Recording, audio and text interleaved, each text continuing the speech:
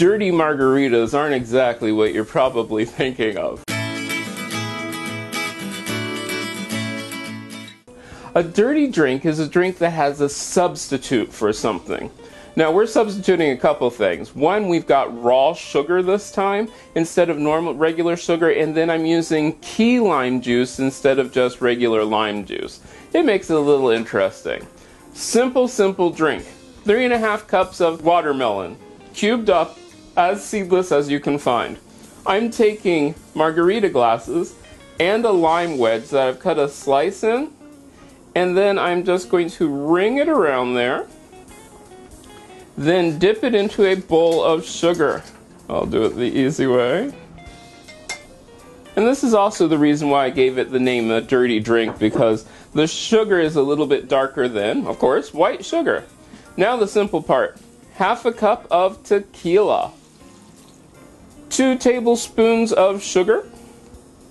Three tablespoons of lime juice and one good tablespoon of triple sec. Put my lid on. Now I'm going to puree this.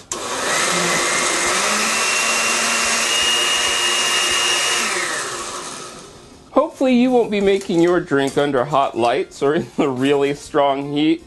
My crushed ice sort of turned into one giant blob.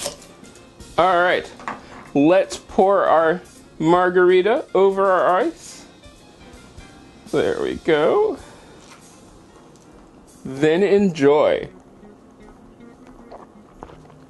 Oh, that's nice. It's smooth. It's sort of got this, there's a hint of the triple sec, which is a citrus, and the lime. It really tastes good without being overpowering with the tequila. I think you're going to like this.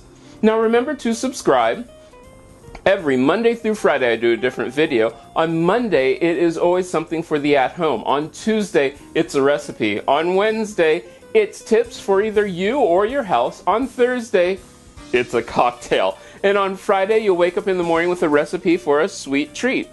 Don't forget to like and share this on social media and let me know in the comments what you'd like to see me try or things that you've done of mine that you thought were just great or things you didn't like so well. Let me know and we can change them up. And remember, running your house doesn't have to be a full time job. Turn it into a hobby and have some fun.